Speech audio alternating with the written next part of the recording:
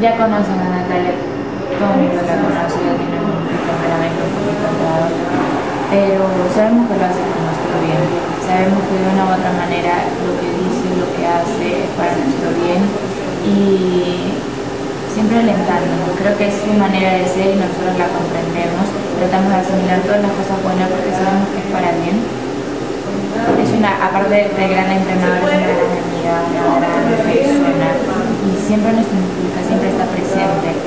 Y creo que gracias a ella pues nos ves acá y gracias a ella vamos a aprender. Entonces te quería comentar un poco de la parte de Natalia que no se ve, ¿no?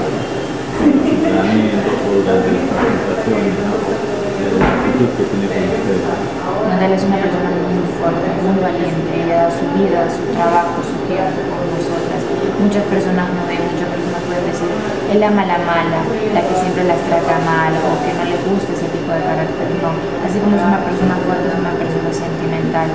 También llora, también te aconseja, también te escucha, también te valora y aprecia lo bueno que hacemos. Este, pero cuando hay que necesitar, pues, como dice, como el peruano le gusta que le traten a veces mal para que reaccione, pues a veces es necesario. Y como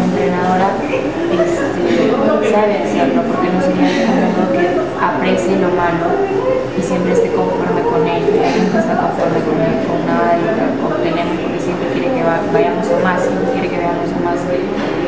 Y como persona maravillosa, como entrenadora la mejor y gracias a eso somos lo que.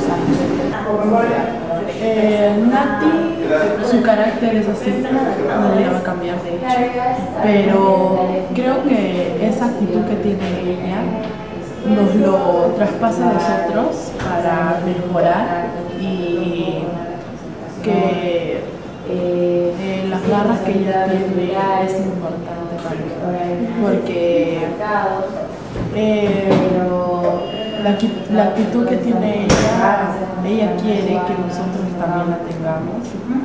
Y bueno, a nosotros no nos afecta mucho, porque ya estamos acostumbradas a lo, a lo que nos dice, a, lo que nos hace en los entrenamientos, pero nos vamos acoplando al ritmo de ella.